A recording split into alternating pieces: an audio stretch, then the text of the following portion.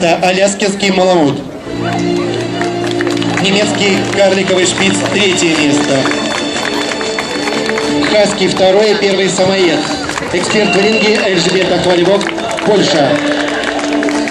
Первое место занимает собака породы самоед.